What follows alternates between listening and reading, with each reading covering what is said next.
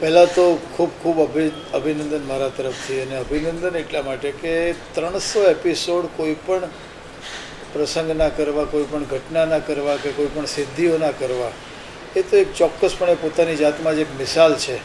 અને જીટીપીએલને જેટલા બંને હાથ પોળા કરીને, હગ કરીને, આલિંગન કરીને મારા અભિનંદન.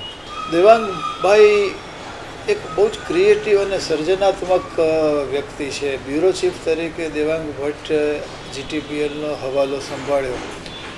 એ પહેલેથી અમે પરિચયમાં હતા અને ત્યારથી મને ખબર હતી કે ખૂબ સર્જનાત્મક હોવાને કારણે એમની પાસે દસે દિશાઓ ખુલ્લી હોય છે. એ કોઈ એક ચોક્કસ વિષયના મોહતાજ નથી રહેતા. એમની પાસે ધર્મ છે, રાજકારણ છે, સમાજ છે ક્રિકેટ છે, અન્ય ઘણા બધા સબ્જેક્ટ છે, કલા છે. તો દેવાંગભાઈ પાસે બધા જ ક્ષેત્રોની સરસ મજાની જાણકારી હોવાને કારણે આ ત્રણસો જે એપિસોડ્સ બધા થયા, એમાં વિવિધ ક્ષેત્રના બધા સેલિબ્રિટીઝને લઈ શકાયા.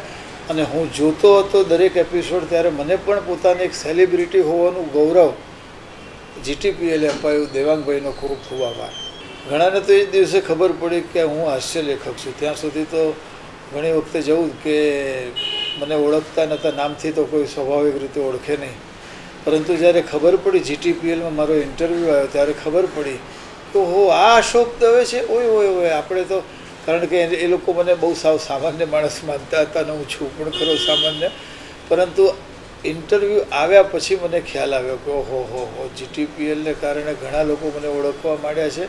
એટલે જ જ્યારે આ પહેલી વખતે જ્યારે મારો ઇન્ટરવ્યૂ લેવા માટે જીટીપીએલમાંથી આપ લોગ આવ્યા. ત્યારે મેં એક વાત કીધી હતી કે બાકીના ત્રણસો જણનો ઇન્ટરવ્યૂ લેવાની જરૂર ક્યાં છે?